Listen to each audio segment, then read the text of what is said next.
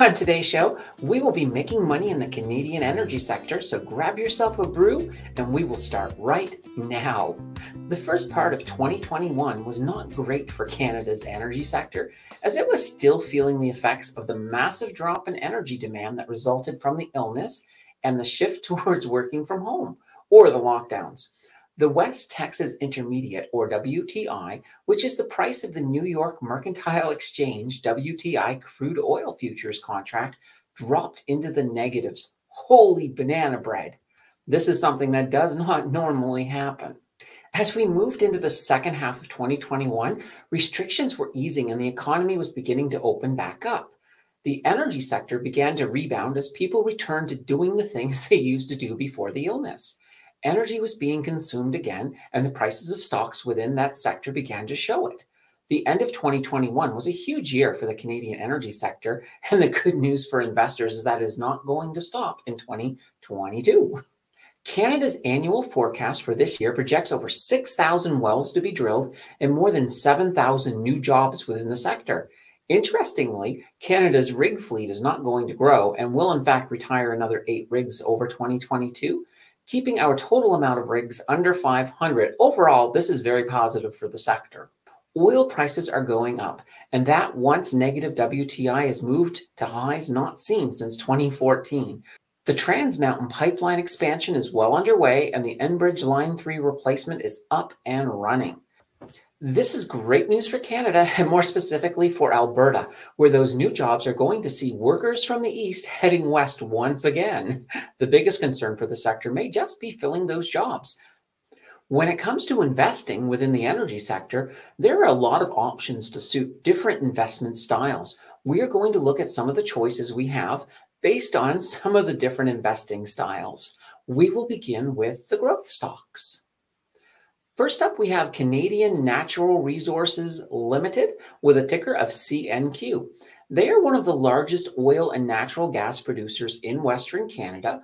They have 11.5 billion barrels of oil equivalent or BOE in reserve, which is fantastic and sets them in the right direction for great growth over 2022. A few more of their fundamentals include a PE ratio of 13.1 a dividend yield of 3.6% paid out quarterly. In the last six months, their share price rose from $42 to $65 for a 55% return on investment. A very solid stock to have in a growth portfolio. Up next, we have Imperial Oil, who has a ticker symbol of IMO. They are one of Canada's largest integrated oil companies. They have 5.2 billion BOE in reserve and are poised for good growth in 2022. Now, when it comes to their fundamentals, we have a PE ratio of 65.4, a dividend yield of 2.1%, also paid out quarterly. In the last six months, their share rose from $34 to $51 for a 50% ROI. A pretty solid stock to have in a growth portfolio. The only concern is that their PE ratio is a little on the high side. Our next growth stock is Vermilion Energy with a ticker of VET. They are an international oil and gas company with an emphasis on exploration and production in North America, Europe, and also Australia. Most of their revenue comes from the production and sale of petroleum and natural gas. A few more of their fundamentals include a PE ratio of 4.2. They do not have a dividend. However, in the last six months, their share price rose from $9 to $19 for 110% return on investment. A very, very nice stock to have in a growth portfolio. Now, let's look at some of our better dividend stocks. Up first, we have Enbridge with the ticker symbol of ENB. They are one of the better known Canadian companies in the energy sector. They are blue chip as their reach expands into Canada and the US with pipelines, oil sands, natural gas, and a growing renewable energy effort, mostly in the form of wind farms out to sea. A few more of their fundamentals include a PE ratio of 18.4. Their quarterly dividend has a generous 6.6% yield.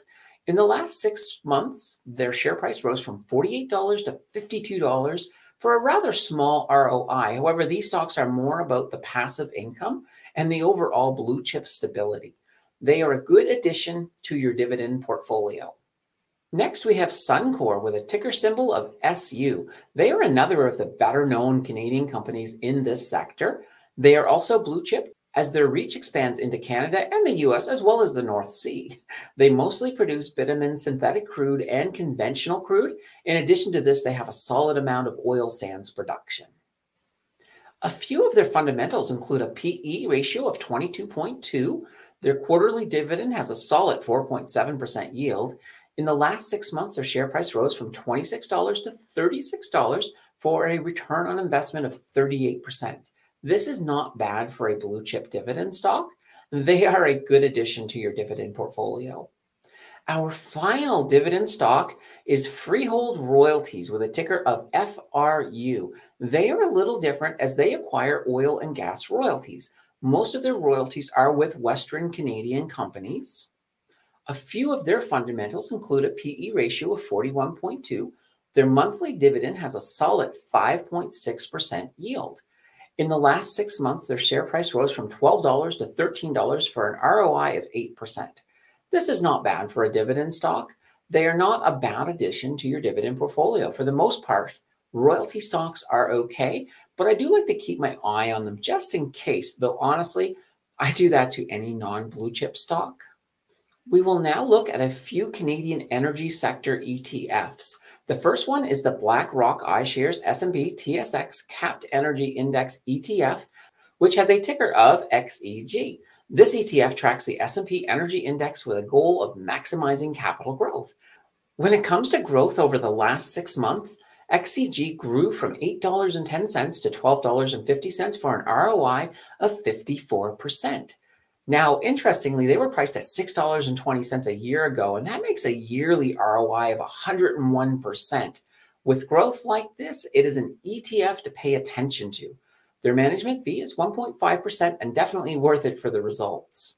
Another great ETF is BMO S&P TSX Equal Weight Oil and Gas ETF with a ticker symbol of ZEO.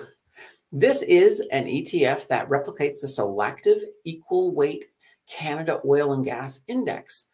In the last six months, they had solid growth going from $40.40 to $52.05 for an ROI of 30%. In addition to that, they also have a quarterly dividend yield of 2.9%. Their management fee is 0.61%. Overall, not a bad ETF to throw in your portfolio. Our final ETF is the Horizons S&P TSX Capped Energy Index ETF, which has a ticker symbol of HXE. This ETF replicates the performance of the S&P Toronto Stock Exchange Capped Energy Index. Over the last 6 months, this stock grew from $14.8 to $24 for an ROI of 62%. A year ago, they had a share price of $11 so that is a huge 118% ROI over the last year. Amazingly, their management fee is only 0.27%. Another absolutely great growth ETF. 2022 is really looking to be a great money making year in this sector. Of course, you shouldn't ignore other sectors as diversification is still the order of the day. Also, be sure to do your own research on these stocks as I am not a financial advisor and present these as the start of your research. Your financial advisor is the end. If you like this channel, then please consider joining our free newsletter linked below. And if you are looking for a way to support what I do, then there is also a Patreon link down there as well. On your way out, if you wouldn't mind clicking the like button and subscribe if you like this sort of content, clicking on the notification bell will take it one step further so that you'll get notified whenever I drop a new video. Thank you for watching, and until next time, I will bid you a fond adieu.